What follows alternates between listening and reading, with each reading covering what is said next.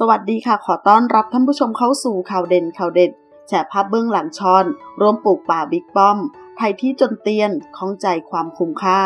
จากดราม่าร้อนแรงในโลกออนไลน์ หลังจากที่ชอนบูรณะฮิรัน นักสร้างแรงบันดาลใจชื่อดังในโลกออนไลน์ ได้โพสต์คลิปชื่นชมพลเอกประวิตยวงสุวรรณรองนายกรัฐมนตรีว่าที่หัวหน้าพักพลังประชารัฐ ที่เข้าร่วมกิจกรรมปลูกป่าด้วยกันว่า เป็นผู้ใหญ่ที่น่ารัก พร้อมกับตำหนิสื่อนั้น ล่าสุดนายสมบัติบุญงามอนง หรือบอกลายจุด นักเคลื่อนไหวทางสังคมและการเมือง ได้โพสภาพต้นไม้ที่ชอนและบิ๊กป้อมได้ปลูกร่วมกัน ซึ่งพบว่าพื้นที่บริเวณดังกล่าว ถูกไถจนเตียนลง พร้อมตั้งคำถามถึงการดูแลการลงทุนที่เสียไป เมื่อเทียบกับความคุ้มค่าของกิจกรรมดังกล่าว โดยโพสต์ได้ระบุว่า นี่คือการปลูกป่าที่ชอนและพลเอกประวิตยไปปลูก จะสังเกตว่าพื้นที่ไถเรียบจนไม่เหลือต้นไม้สักต้น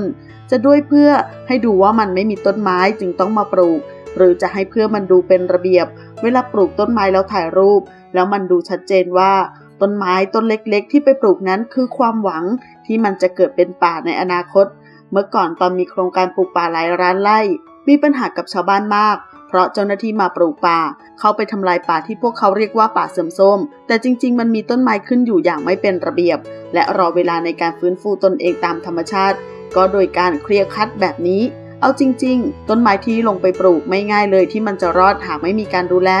คิดถึงเราไปซื้อต้นไม้มาไว้ที่บ้าน แล้วไม่มีคนคอยรดน้ำดูแลจะรอดได้อย่างไร แม้จะฝากฟ้ารอฝนมาช่วยรดน้ำแต่ก็มีช่วงที่ฝนขาดช่วง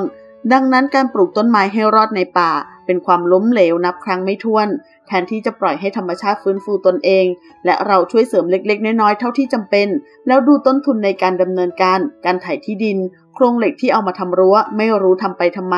และที่สำคัญ การปลูกต้นไม้เรียงแถวแบบทหารนี้ มันไม่ใช่ป่า มันเป็นการทำไร่ชนิดหนึ่ง สังคมเราพูดเรื่องการปลูกป่ามาตั้งนมนาน แต่เราทำได้แค่ปลูกต้นไม้ ซึ่งสุดท้ายก็ปลูกไม่รอดอยู่ดี ขอขอบคุณข้อมูลจากข่าวสดขอบคุณค่ะ